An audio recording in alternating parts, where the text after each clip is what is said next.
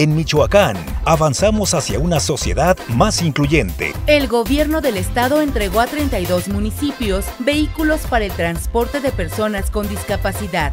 Con una inversión superior a los 20 millones de pesos. Generamos igualdad de oportunidades para todos. Michoacán está en ti.